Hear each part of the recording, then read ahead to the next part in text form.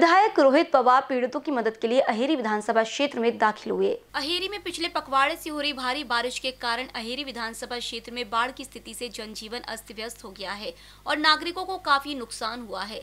राष्ट्रवादी कांग्रेस करजत जामखेड़ विधायक Rohit Dada Pawar Baramati agro company और करजत जामखेड़ एकीकृत विकास संगठन की ओर से आवश्यक वस्तुओं की मदद के लिए अहेरी विधानसभा क्षेत्र में प्रवेश कर चुके हैं और विधायक धर्मराव बाबा अतराम के साथ पीड़ितों मिलने के लिए अहेरी से सिरोंचा रवाना हो गए हैं।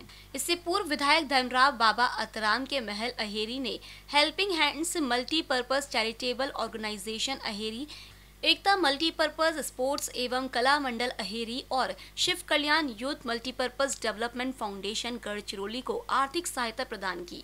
महाराष्ट्र राज्य की परंपरा के अनुसार अपने लोगों की मदद करने के लिए विधायक रोहित, दादा पवार, अनाज, दवा, कपड़े आदि देने के लिए राज्य के अंत में गढ़चिरौली ज़िले के अहेरी विधानसभा क्षेत्र में पहुँचे और तीन दिन तक रुकने के दौरान बाढ़ प्रभावित इलाकों का दौरा करेंगे और बाढ़ पीड़ितों से मुलाकात कर राहत मुहैया कराएँगे। दौरे के दौरान विधायक धर्मराव बाबा अतराम उनके साथ रहेंगे और राकंपा जिलाध्यक्ष रविंद्र वासेकर और अन्य पदाधिकारी उनके साथ रहेंगे। आदरणीय अतराम मी असेल आणि राष्ट्रवादीचे काही कार्यकर्ते नागपूरचे या ठिकाणी आलेले आहेत. गेले दहा बारा दिवस आपण जर बघितलं तर अख्ख्या वर्षाचा पाऊस या दहा दिवसामध्ये या आहे. तिन्ही तालुक्यामध्ये मोठ्या प्रमाणात नुकसान झालेलं आहे. काही दिवसांपूर्वी जेव्हा आमदार साहेब मुंबईला आले होते तेव्हा आदरणीय अजितदादांमुळे त्यांची बैठक झाली. काय काय अडचणी त्या ठिकाणी त्यांनी त्यांच्या मतदारसंघाच्या तसंच जिल्ह्याच्या सुद्धा त्या ठिकाणी त्यांनी सांगितलं ज्याच्यामध्ये मोठ्या प्रमाणात रोड वाहून गेले शेतीला नुकसान झाले. आणि काही शेती तर त्या ठिकाणी माती पूर्णपणे वाहून गेलेली बघितली. त्याच्याच बरोबर घरं असतील. हे सगळे विषय ते आदरणीय विरोधी पक्ष नेते अजितदादांना त्या ठिकाणी त्यांनी मांडलं.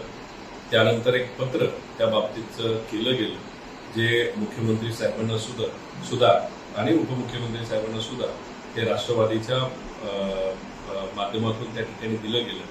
आणि ह्या सगळ्या गोष्टी होत असताना मी सुद्धा म्हणजे सामाजिक हेतूतून जेव्हा